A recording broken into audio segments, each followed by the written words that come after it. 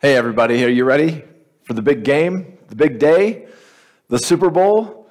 I don't know about you, but that's a day that I, well, I kind of give myself a little permission to eat too much of all the wrong things.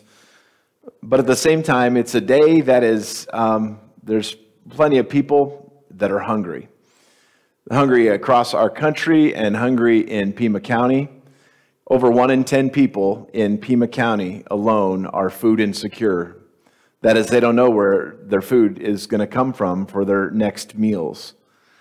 So, what we're going to do as part of what's called the Souper Bowl of Caring is this event that uh, to help do our part uh, to make a difference uh, alongside other churches and groups uh, from across the country.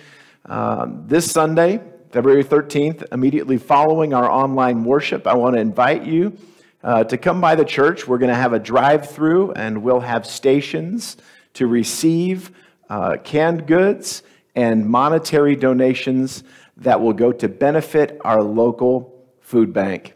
You know, since 1990, groups have been doing this and have raised over $170 million for agency for, for food agencies, for food banks. Um, and so I look forward to this Sunday not just for a football game, but I look forward to this day that'll be a day of uh, our expressing our generosity to help make a difference for hungry people uh, here in Green Valley and Sahuarita and Pima County. God bless you.